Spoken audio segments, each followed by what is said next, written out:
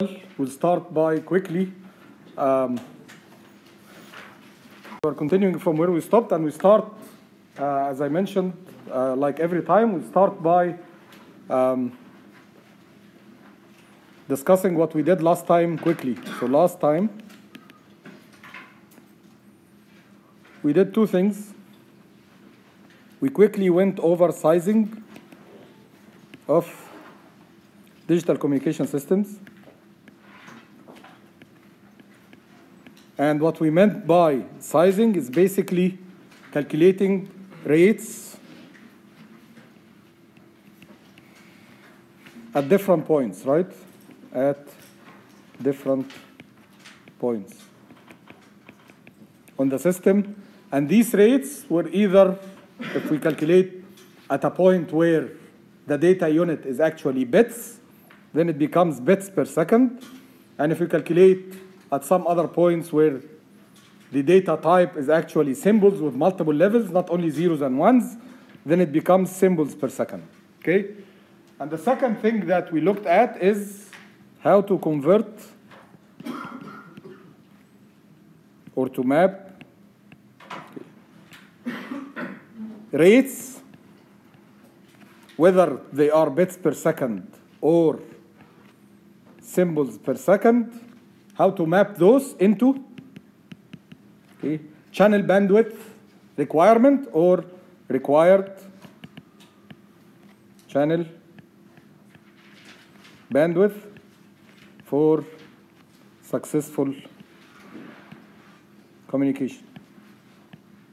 So in order to be able to carry this amount of bits per second or that amount of symbols per second, what's the required, the minimum required channel bandwidth in order to be able to carry that uh, amount of data rate from one point to another point. And the general rule that we ended up with is that rate, let's call it R, represented by bits per second or symbols per second, depends on what's the last output from my system. So if my system does not have digital modulation, then the outcome from that system is going to be bits per second directly inserted into the channel. If my system has digital modulation part, then the outcome from the digital modulation is going to be symbols. And the difference between bits and symbols is nothing but bits are special cases of symbols, right? Bits are symbols with only two possible values, 0 and 1. While in general, symbols can have multiple values, okay? So anyways, the rate, no matter how it is calculated. This is the rate that gets directly put into the channel. So that's the rate that we put into the channel is converted to the exact same amount of R, but represented in terms of hertz. That's the amount of channel bandwidth required for a certain rate support. Okay? So that's what we did last time in summary. Now today, as promised early on, that after describing the overall situation in digital communication systems, we are going to focus on the different block parts of the communication system and describe in more details how does that part function and how to represent the functionality of that part. So today, we are going to focus on the first leftmost part of a communication system. We are particularly going to focus on source coding. And as focusing on source coding, we will start by describing the overall theory that governs the functionality of source coding, which is called information theory. So we will have some kind of an introduction to information theory.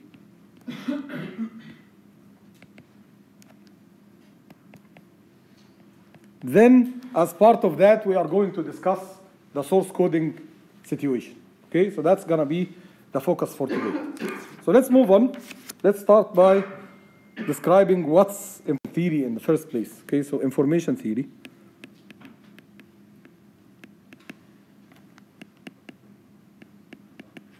is okay, a mathematical representation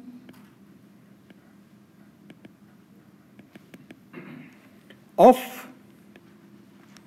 theoretical measures and limits.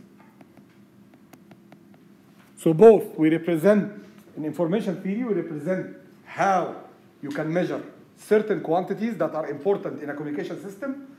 And then we also, as part of the information theory, we show you the limits on performance. Okay? So communication theory covers both how you can represent certain quantities in a measurable way, and then what are the limits on your performance. These are the two important factors um, that are covered by the overall umbrella of uh, information theory. So measures and limits of communication systems in general. And part of that are the digital communication systems, which is going to be the focus uh, that we will zoom in in our work in this course. Okay?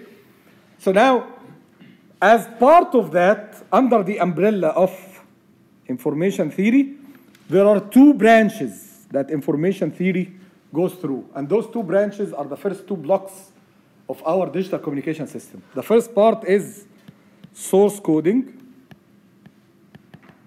And the second part covered under is channel coding. So both these blocks are covered under information theory. Again, information theory includes a lot of math.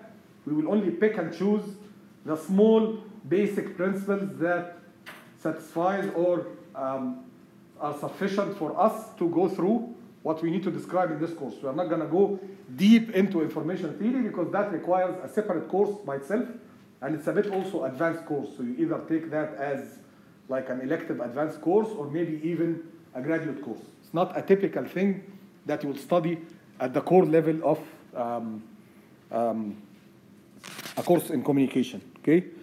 Uh, so, anyways, for today we are gonna focus on the source coding part, and we'll try to capitalize on the concepts of information theory. First of all, we'll describe those basic concepts, and then we'll try to capitalize into those concepts to see how we can do two things: how we can measure the performance of a source encoder, and what are the theoretical limits on a source encoder. Okay, and then under that umbrella, we'll describe how a source encoder will work. Okay, so that's basically gonna be the focus of what we will do. Some theory also today. So let's go on to the next part. First of all, before going into source coding itself, remember that when we described a communication system early on in this course, we talked about that the objective or the goal of a communication system is to carry information from one place, we call that the transmitter, to another place physically disconnected, we call that the receiver, right? And then we said, okay, in order to be able, and we need to do that in an efficient and reliable way. Now, in order to be able to uh, perform measures of efficiency and reliability, we need first of all to quantify information. How can I measure information, right? When we say I need to transfer information from one place to the other, how do I make sure that this transfer carried the whole information? I need to be able to measure information in the first place, right? So what we'll start uh, looking at right now before moving directly into source coding is measure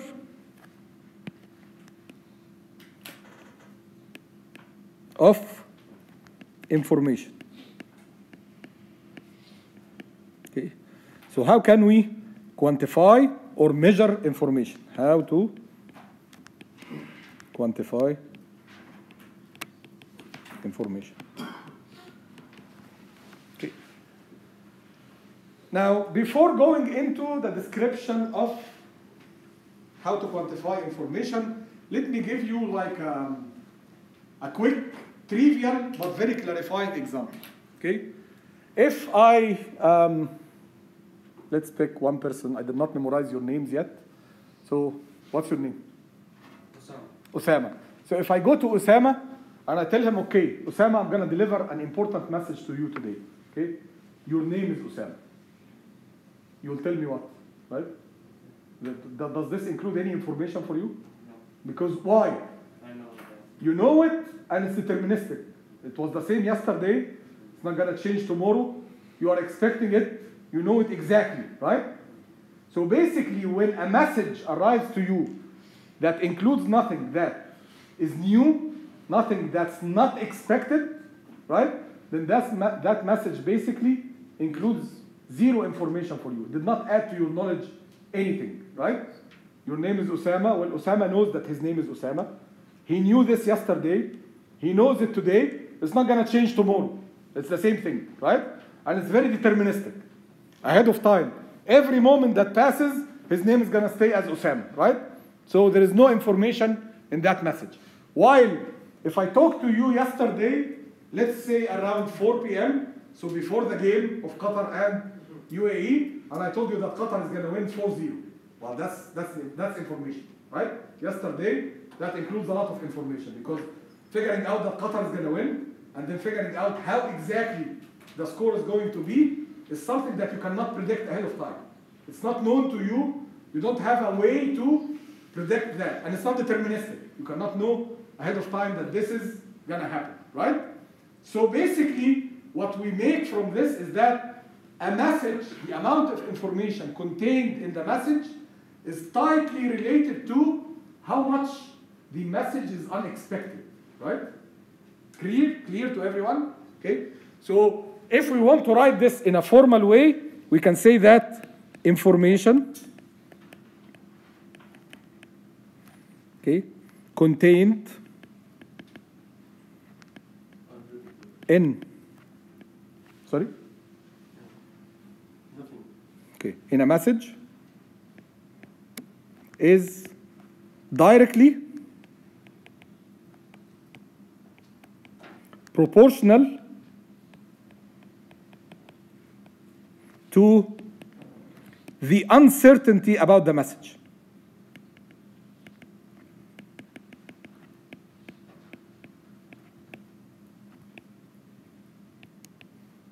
Okay? So the more the message is unexpected to me, the more information this message carries. Okay? If I tell you that, by the way, there is a quiz right now. That was not expected because I promised you before that there are no pop quizzes, right? So in this case, this message carries huge information, right? You're gonna be really disturbed by this message, right? What if we have a quiz? No, we're not gonna have a quiz. Okay, so that's okay. Okay, so basically, I can write now a simple equation that says that uncertainty, okay, about a message, as it goes up, by definition that we just mentioned, the amount of information in the message is going to go up, right? So the more I'm surprised by the message, the more unexpected the message to me, the more the amount of information in that message. Okay? A question for you. What do you use in math to represent uncertainty? Probability, right? Uncertainty only happens about random things, right? Things that are deterministic, you are quite certain about them, right? When something is deterministic, I know that this room is like uh, 15 meters long. It's going to stay 15 meters long forever. So that's a deterministic piece of information. Does not have any contain does not contain actually any information because it's deterministic, right? So the measure of uncertainty that we learned earlier was probability. So the probability of the message is a measure of uncertainty, and this can be represented as something equivalent to information. But if information goes high, uncertainty goes high. When uncertainty goes high, probability goes up or down? Down. Down. So basically the relation now is going to be if probability is smaller, if the probability of a message is smaller, then the information contained in that message is big, right? Or bigger, yes? I didn't get that. Which one? The last part for the probability when it's going. Probability, how do you relate probability to uncertainty? If probability is high, if something has very high probability to occur, you are uncertain or certain about that? You're certain, right? So if uncertainty goes up, probability must go down. And then we know this relation, so correspondingly we get this, right? Okay? Now a guy named Shannon, he came and thought, okay, that looks nice. So if probability goes down, information goes up. So it must be that I can represent information as some function of probability. Okay? But in order to satisfy the fact that probability going down, information goes up, then this is an inverse relation, right? It's not a direct proportionality, it's an inverse proportionality, right? So this means that 1 over p, right, is proportional to information, right? Then Shannon said, okay. Okay, that's the father of uh, information theory, Okay, he said, okay, I know now that 1 over p is proportional to the amount of information. However, when we are working in digital communication, we tend to measure things in bits, right? Now, how can I convert probability into bits or 1 over probability into bits? What did we do in the previous lectures? Whenever we want to measure something in bits, what did we do? Take the log to the base 2, right? Because when we had an, uh, like a number of m levels, and we wanted to measure how many bits can represent those m levels in the quantization, we said take the log to base 2, right? Or when we wanted to represent the fact that m modulation index is representing that every b bits are converted into a symbol, again we took the log of the modulation index to figure out how many bits are combined in the digital modulator into a single symbol out of the digital modulation. So it's okay, I can do the same thing. So I can say that I, the amount of information, now rather than saying proportional, I can take the proportionality constant equal to 1. So I can say that I is equal to log to the base 2, 1 over b. Right? 1 over p. And that's a measure of my information.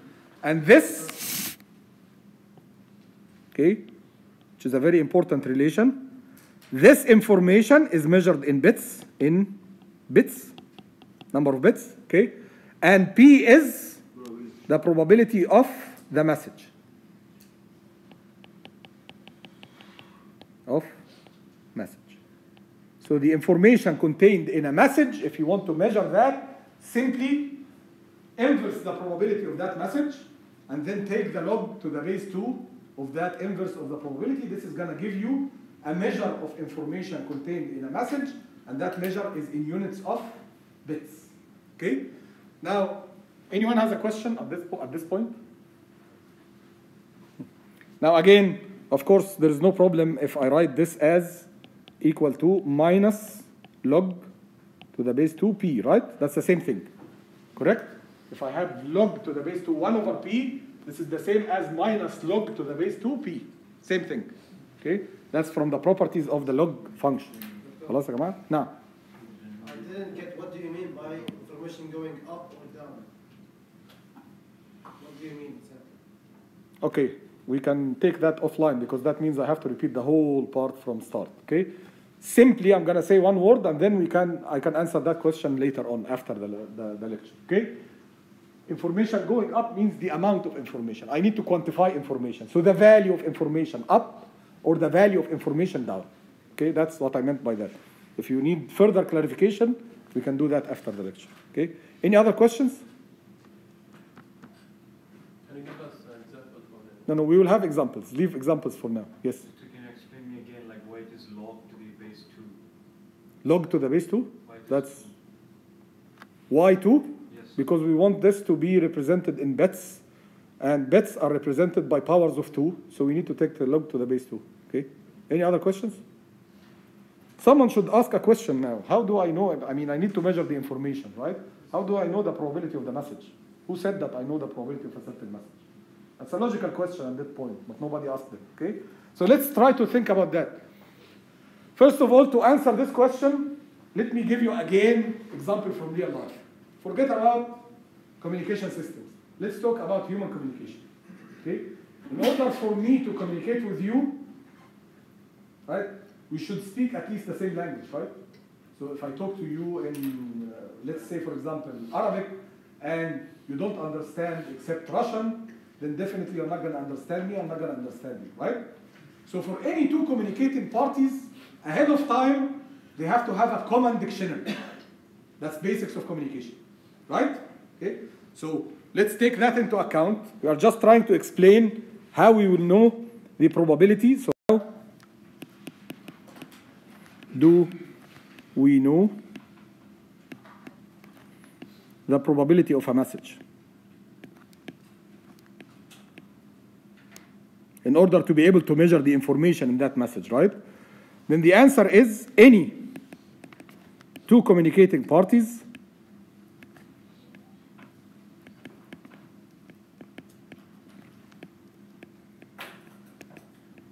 must have a common dictionary, right? Otherwise, there is no point of communication. They will never be able to understand each other, right?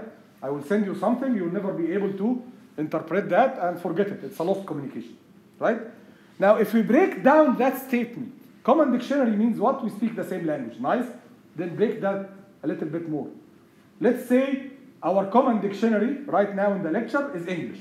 So we have to deliver the material in English, should be able to understand English, right?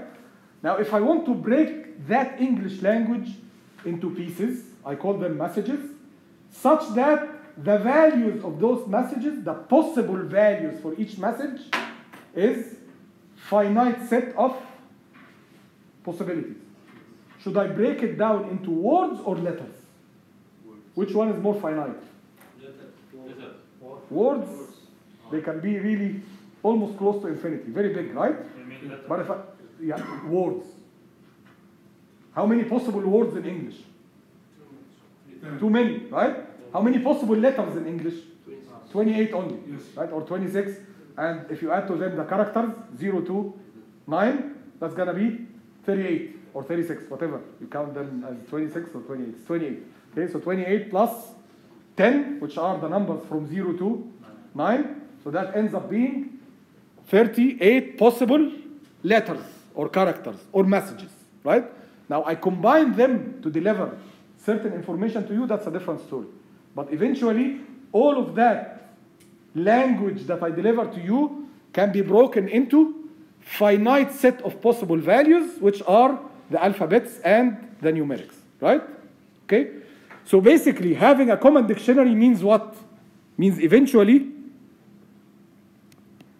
okay, messages, call them S, the set of messages, right? Includes or belongs to any message that I send belongs to a finite set of possibilities, right? I call them M1, M2, up to Mn. And for the case of alphabets, this n is 28, or if I add letters to them, it's 38. So there are only possible 38 letters or characters that I can communicate to you, right? Now, when I want to communicate a big statement, I just send a sequence of those one after the other. And as a receiver, of course, humans are not really interpreting at the level of characters, but we are trying to think systems now, okay? So communication systems, they go down to the level of messages being characters, okay? They will not interpret in terms of semantics or these things which are much more advanced. So us as human, when I hear you, I don't really interpret every single letter. I just take the word and then the context of the statement and all these things, right? But that's just more complication, that's it. But the basics are the same. There are finite set of possible messages, right? And those finite set of possible messages are already pre-agreed between the transmitter and the receiver. You know that I'm gonna speak English, and I know that you are gonna understand English.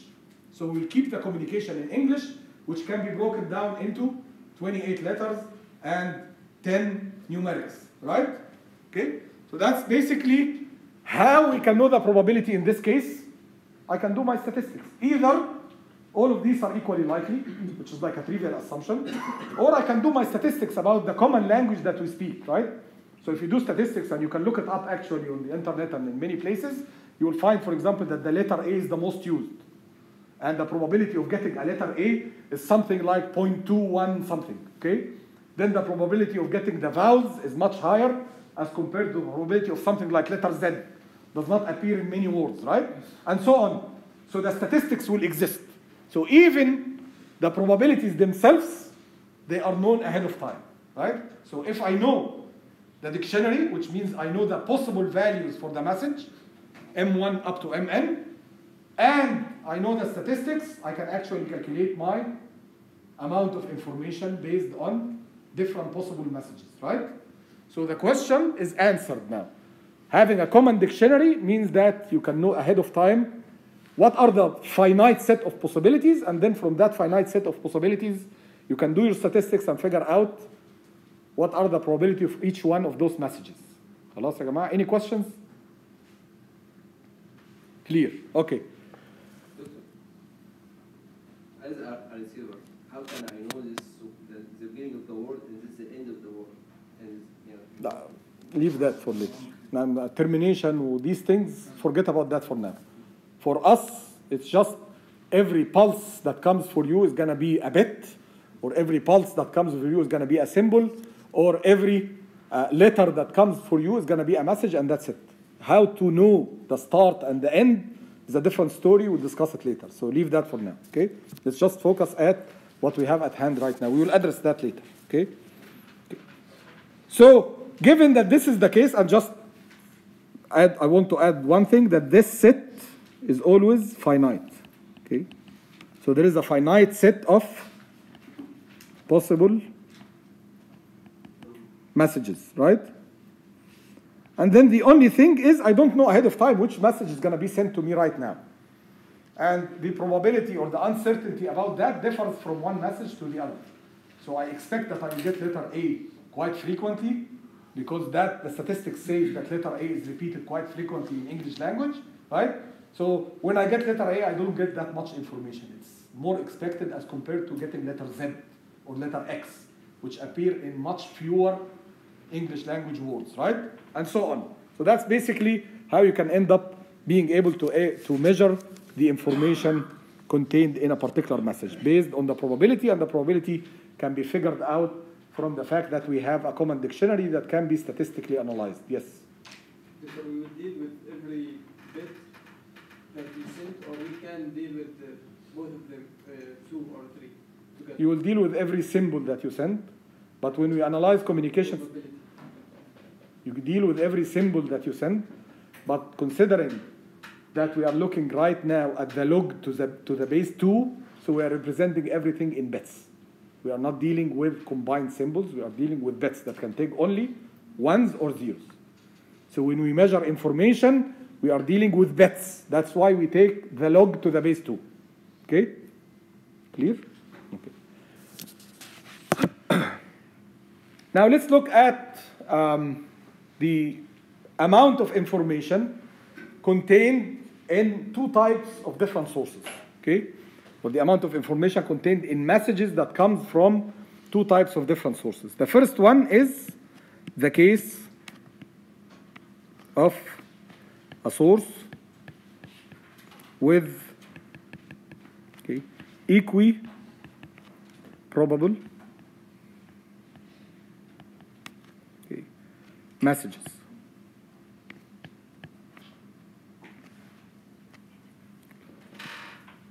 So that's the first case. Okay? So in this case, what we are saying is the source produces a message, a message S at every point in time, and that S belongs to M1, M2 up to Mn. And since all the messages are equiprobable, then the probability of M1 is equal to the probability of message M2 is equal to up to Mn. And it must be that all these probabilities are equal to what? 1 over n. They are equally probable and their number is n, so each one of them must be with probability 1 over n. Right? Now to calculate the information contained in any message, let's say it's message i, so the information contained in message number i, right? Where this i belongs to m1 up to mn, sorry, where this i belongs to from 1 to n. Up to n. So I1 is the information contained in message 1, I2 is the information contained in message M2, I3 is the information contained in message M3, and so on, up to n, right? All of these are equal to, how do you measure the information? log to the base 2 1 over P of MI, right? Correct? But what's P of MI for all the messages? Exactly. So this is equal to log to the base 2 1 over 1 over N, which is equal to log to the base 2 on N. Tamam? This is the amount of information in any message coming from this source. If I want to take the average, what do I do? Each one of them is log n. So add them together, divide by their number. So that's going to be n log n divided by n, which is going to be eventually The same log. log n as it is, right? Okay. So basically, the average information is equal to again log to the base 2n, right? From that source. This is the average information from the source. Okay? Clear to everyone? Now let's look at the other case. What's going to be the other case? That the messages are not equally probable, which is similar to the example of the alphabets A, B, C, D. They are not equally probable. The A has more probability because it occurs in more words, as opposed to, for example, X, which has very low, low probability because it occurs in very few words in English, and so on, right? So basically, the other case is the case of well, actually, let's do this in a new page.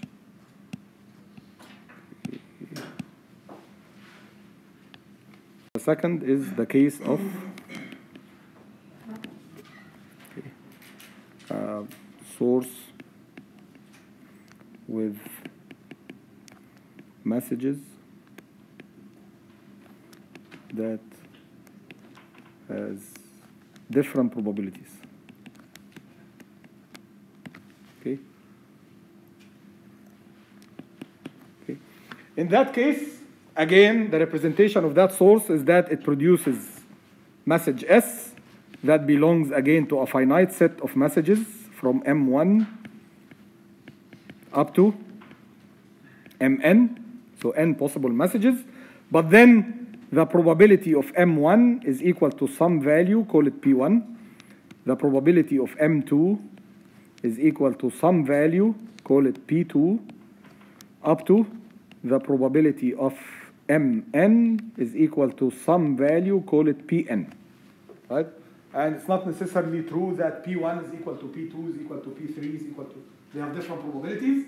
And the combining relation between those probabilities is that the summation from i equals 1 up to n, pi, those probabilities must be equal to 1 because again, the only possible messages that will come from source is either m1, m2 up to mn. So one of those is going to come out.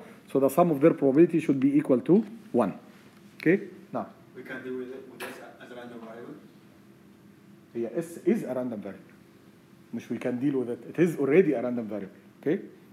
And even in the previous case, it's a random variable, but they are equally probable because ahead of time, you don't know, from a receiver perspective, you don't know whether you will get M1 or M2 or M3 or M, right? So it is random, okay? Now, if this is the case, the first step is the information contained in symbol or message number I. Sorry, in message number I, right? This is again where I belongs to 1, 2, up to n. This is equal to what? Log to the base 2, right? 1 over pi. Correct? And that's it. So for every different message, there's a different amount of information depending on the associated probability of that message, pi. So for message number 3, the information contained there is going to be I3, and that's equal log 1 over P3, right? The probability of message number 3. For message number 5, the same, and so on, okay?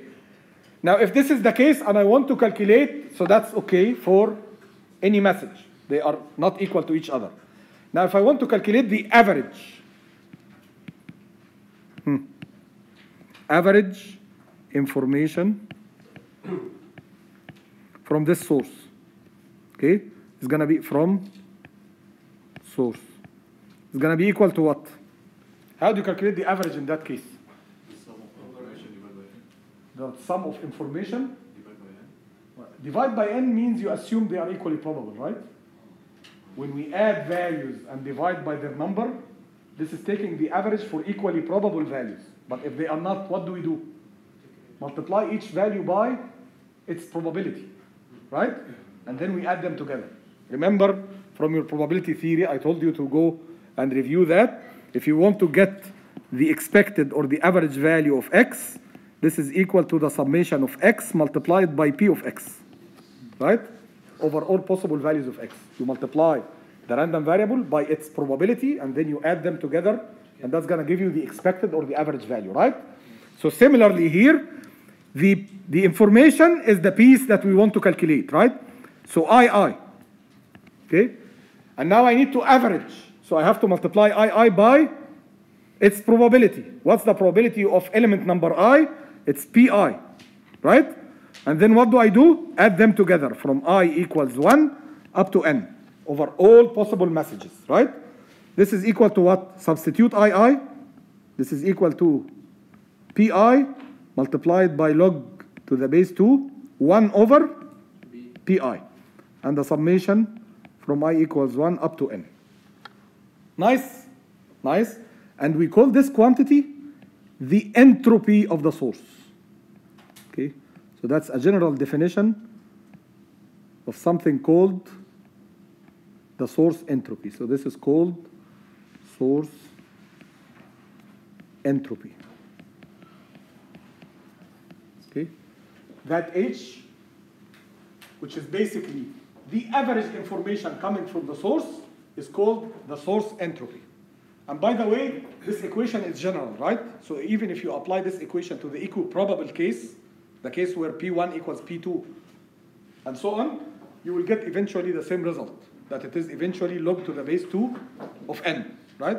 Because in that case, the p's here are all 1 over n, 1 over n, so this is going to be n, and then it's log to the base 2n multiplied by 1 over n and repeated n times. So n over n will cancel and you end up with log n again, right? So again, this is the more general case. You can use it for both. You don't need the special case of the equiprobable. It was just an introductory part. That's it. Okay? So that source entropy is a very important measure in information theory. Why?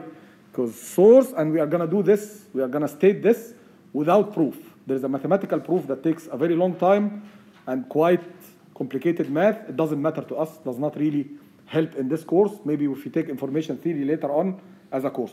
But what we are going to say is entropy, okay, sorry, entropy,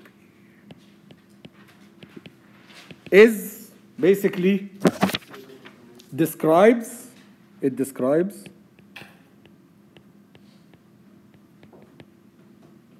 okay, the minimum average number of bits that can be used okay, to represent source information without losses.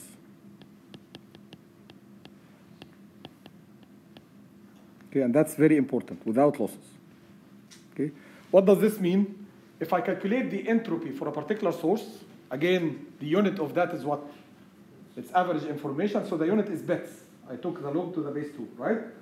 This number of bits that I get as the entropy of the source is telling me that this is the minimum average number of bits that I can use to represent the information coming from that source. Remember what was the objective of source coding? Reduce or minimize the number of bits that you use to represent information coming from the source without losses, right?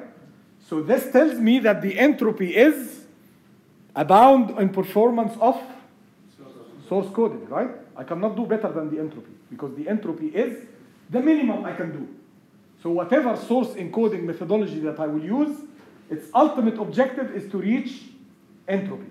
Okay يا جماعة? Clear? Okay, so I'm gonna state this, and then we will take like three to five, four minutes break, and then we will continue. So basically, uh, the statement says that the ultimate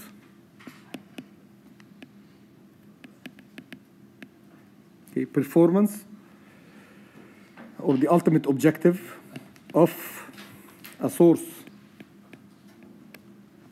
encoder is to represent okay, the information coming from the source with average number of bits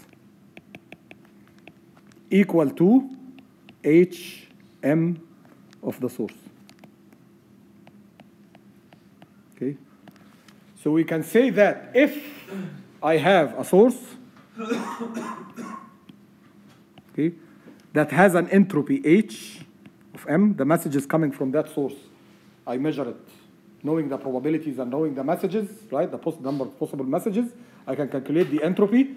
And then I go through a source encoder. Okay. And this source encoder is lossless. Don't forget this. Because again, if it's lossy, it's a different story. We are talking about not losing any part of the information. Okay? Now, if the source has an entropy h of m, this is my source. Okay, and this is source encoder. Okay. Then the amount of um, entropy of that is hm, then the best thing I can do is that my lossless source encoder is going to represent the data coming from that source, right, by a number of bits, which is either greater than or equal to h of m.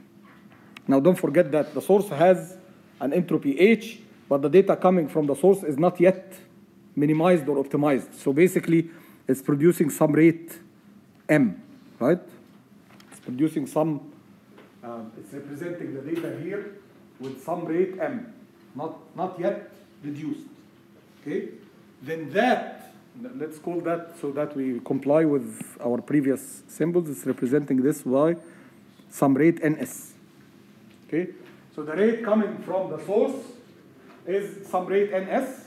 It goes into a source encoder, right? The source encoder tries to remove the redundancy and represents that with ms.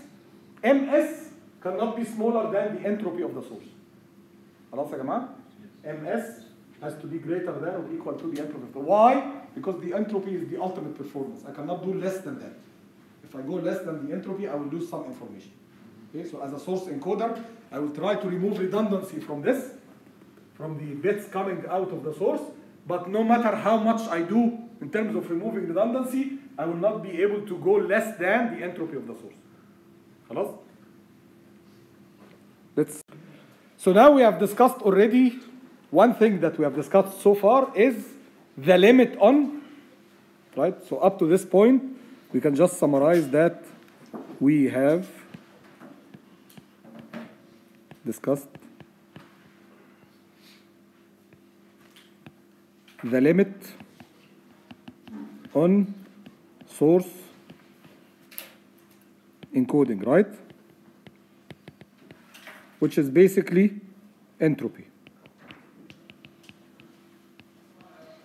Okay? And we have discussed also inherently inside how can I calculate the average amount of information coming from a particular source.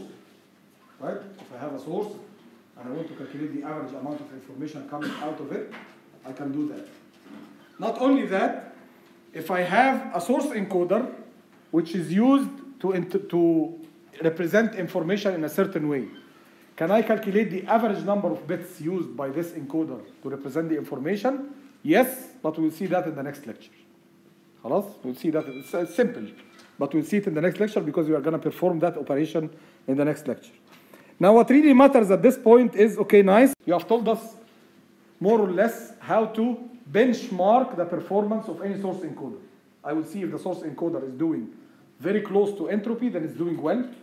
If it's very far from entropy, it means I can do something better, right? Because entropy is the ultimate that I can reach, the limit, right? So that's clear for me. But you didn't tell me how can I do actually source encoding? How can I reduce the redundancy? There are two approaches, okay? So performing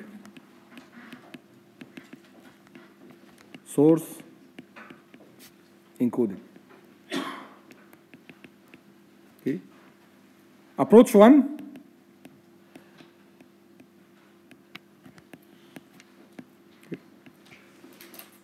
Fixed length.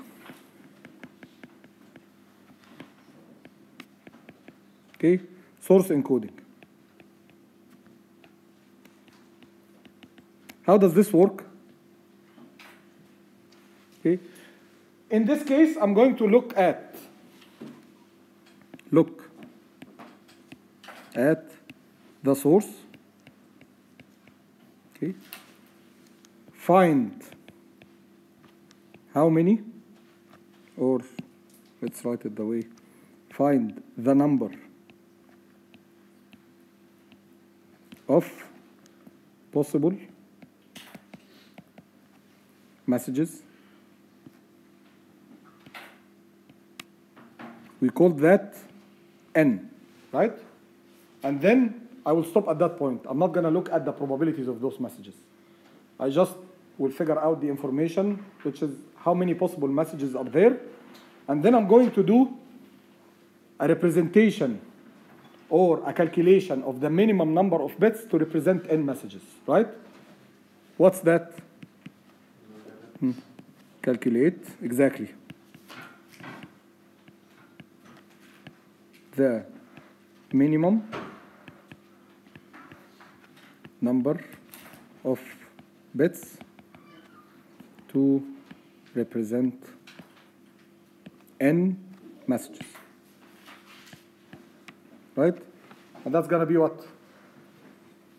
ms in this case is equal to if I have n messages, how many bits I need to represent the messages uniquely? Log to the base 2 the number of messages and I have to do one extra step for practicality is take the ceiling of that because imagine that the number of messages is 5 right then if I calculate the log to the base 2 it's gonna give me 2 point let's say 2 point 2.1 right or 2 yeah it's approximately 2.1 or 2.2 right now if I represent using 2 bits only I can either do 2 bits or 3 bits I cannot do 2.2 bits right if I use two bits only, how many messages I'll be able to represent? Four. So one is going to be lost. That's lossy representation. I need lossless, so I have to take that to three bits, right? So that it was represented by taking the ceiling of this, right? Okay? And again, this is just for practical reasons. I cannot really do half a bit, right? Now this representation is okay. It's lossless and it tries to minimize the redundancy, but it doesn't eliminate. If you calculate the performance of fixed length um, source encoding and you compare it with the entropy of the source, in most of the cases you will find that it is far from the entropy. It's much higher than the entropy, which means that a good amount of redundancy still stays in your representation. Okay? Now the only case where this is going to be optimal is going to be in the case where when this is going to be equal to the entropy. So it's optimal. It is integer?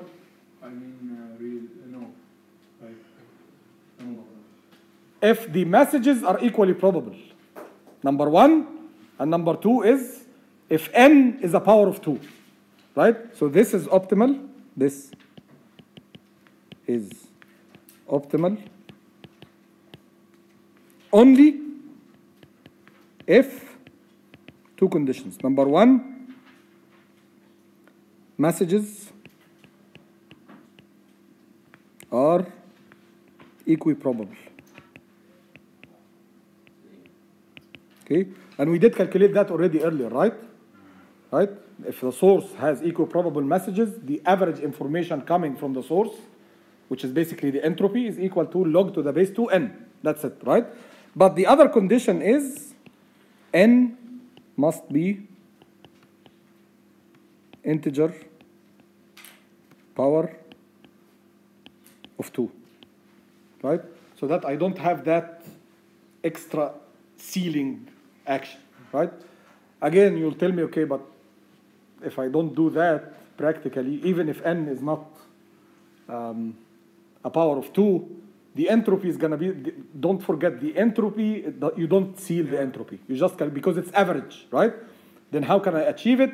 There is a way which is described in like two or three pages in the textbook if you want to look at it, but it's a bit mathematically involved. It talks about concatenating sequences of messages, and rather than representing each message by a code, you represent the sequence, the whole sequence by a code, right?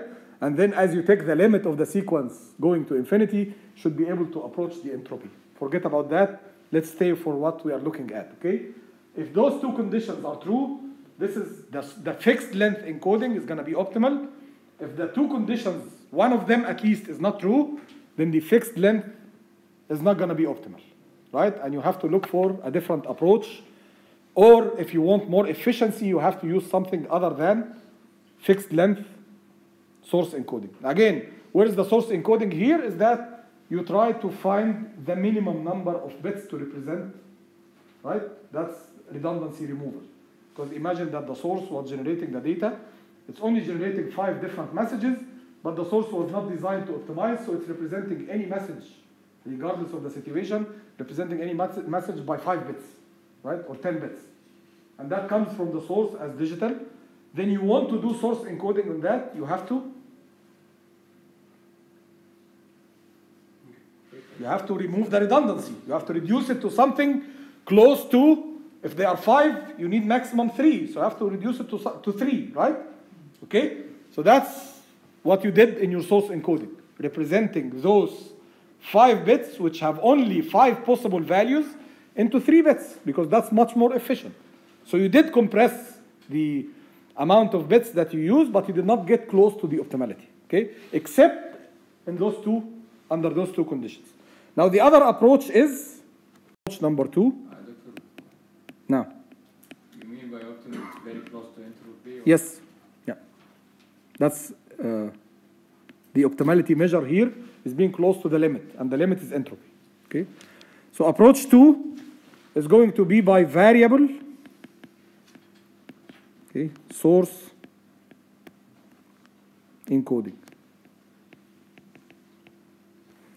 Now, what do we mean by this? We mean by this that you allow different messages, okay, to take different number of bits to represent them. Remember, in the previous case, in the fixed, we will have three bits. Every message is going to be represented by three bits. Five bits, every message. So log n, and then you take the ceiling, and then you're going to use exactly the same number of bits to represent every message. Okay. The other option is is to allow for messages to have different number of bits representing them. And the policy or the idea is going to be allocate more bits for messages with and I'm going to leave this dot dot dot dot dot dot okay probability sorry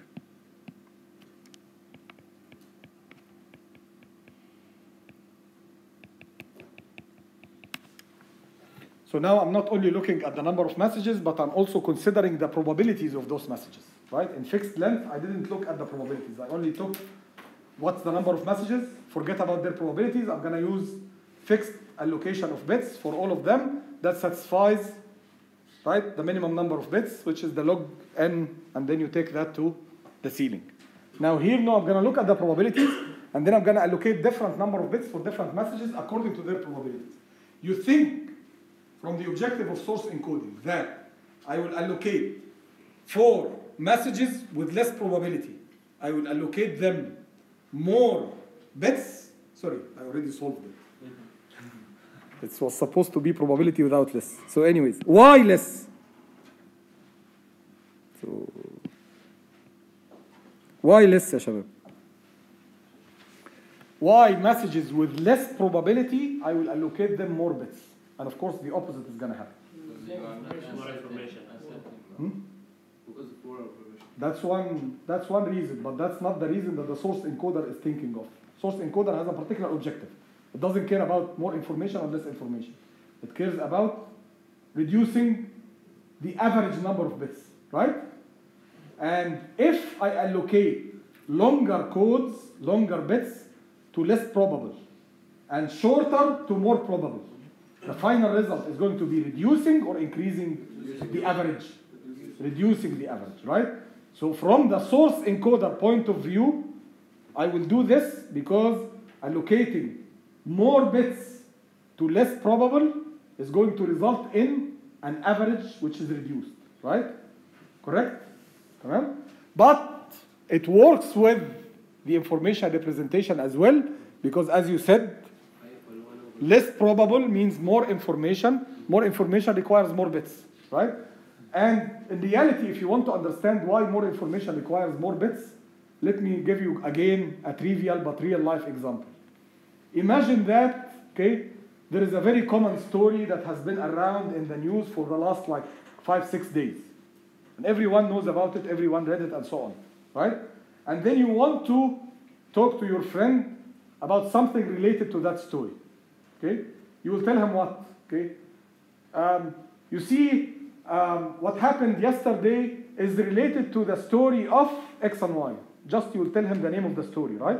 You don't have to tell him the whole story because it's he will understand the rest of what needs. So you have conveyed a big amount of information, which is the full story, by using a very short sentence, right? Just give him, giving him the title of the story. Why? Because that story is more probable. It's actually everyone knows about it, more predictable. So you don't need to use a lot of bits, a lot of time, right, to represent that story. As opposed to if something happened between you and your friend, right, and then you are talking about that to a third person. In that case, you cannot tell him the story of me and my friend. He doesn't know it. You have to tell him the whole story. Why? Because it's less predictable by him. First time for him, he doesn't know anything about it. So you need to convey a lot of information. So you need to spend more time and describe more, right? More bits. Okay, more bits eventually. Okay. So, anyways, if you follow that approach, okay, then you should be able to achieve something very close to the entropy. Now, the question is is there a way that I can do that in a systematic way? Again, just saying, look at less probable, give them more bits, and more probable, give them less bits, doesn't tell you exactly how to allocate the bits. How many bits should I do, right? To be efficient. That's the question that you'll ask yourself. So, there is a systematic one, one, very known, very well known, systematic way for variable source coding is something called Huffman coding.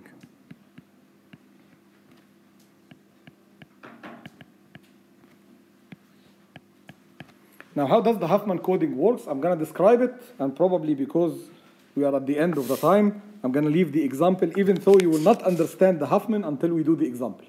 But I'm going to leave the example to next time. Okay? So, the steps of the Huffman coding are number one, you start by arranging messages okay, in descending order of probability. So you know the probability of each message. You put them in the most left column. This is the most left column. Okay?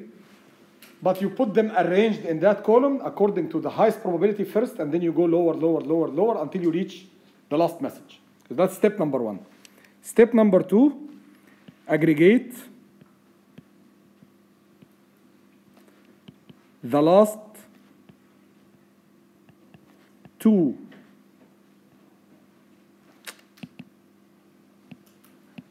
let's write it this way easy. Two. Messages. Into. One. Combined. Message. Okay. That has the sum of their probabilities right so I will go in the first column, take the last two messages, combine them into one message. Consider that there is one message that combines both of them. That message is going to combine their probabilities. So it's going to have their probabilities added together. Now, if I started with N messages, after doing this step, how many messages I will have? N minus 1, right? Where the last one now is the one with the combined probability. Now, that N minus 1 messages, right? You are going to put them on the next column but you are going to reorder them according to the new probabilities that you have, right? The only change thing is the last one that you added will have a probability. It might be higher than one of the or some of the existing ones, right? So you will put it in its right place. You will put that combined message in its right place according to the probabilities. So step three. So here we start with n messages. n messages. At this point, we have n minus 1 messages. Okay? And then number three, rearrange. Okay? The new n minus 1 messages, right?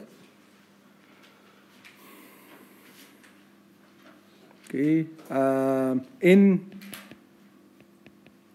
the next column. Again descending order of probability. Okay? Step number four. You can you keep on doing this. So now i ended up with n minus 1 messages in the second column. I'm going to go to the last two combine them into one message and that message is going to have the sum of the probabilities. So i end up with n minus 2 messages now right I will rearrange them according to the newly appearing one, which might come somewhere in the middle, put them in the third column. And I will keep on repeating this until I end up with only two messages. Okay? So I'll keep on combining, combining, combining until I end up with only two messages at the end. I will stop at that point. So repeat. Okay? Two and three till you end up with two messages only. Okay? In general, either both of these messages are gonna, are gonna be combined from previous ones, or maybe one was very high probable, so it stays at the top of the column, never combines, and the other one is the combination. So in general, two messages, right? And then step number five, start from the most right column, okay, and allocate.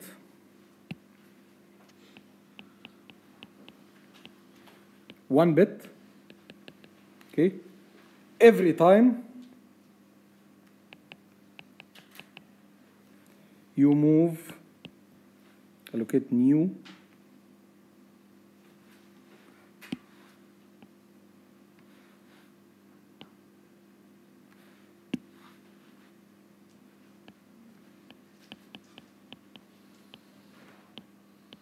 Okay, one bit every time you move to a left column and a combined message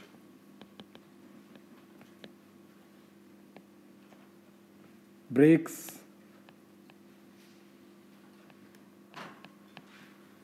into separate. Okay, so basically when I was moving this way, I was combining messages, right? Now I will start from the rightmost I will have two messages. I will allocate one bit for the first column. Then I will move to the previous. One of those two messages is going to break into two messages because it was combined originally from two messages, right? Then those broken ones, they will take the original allocated bit and a new bit that separates them, right? And then I'll move to the column before. Again, one of those three messages is going to break into two. The original existing bits are going to transfer as they are, and then the one that broke into two is going to have one added bit, and so on until I go to the first column. And if I look at the first column, I will find the Huffman encoding already represent each message represented by a certain number of bits and values of those bits. Again, it will be obvious when we do an example. If you have time, we can do the example in five minutes. If you don't, we can leave it to next time. Last step, just to describe, keep in mind that when you allocate the bits, okay, higher probability messages takes zero value of the bit and lower takes one value for the bit. So when I allocate the bits for the first column, for example, the most right column, the one up is going to be the one with higher probability, so that's going to take a value zero. The one down is going to take a value one. Then I go back, one more bit is added. The higher probability takes the value zero for that extra bit. The lower takes the value one, and so on. Okay, we will leave the example until next time because.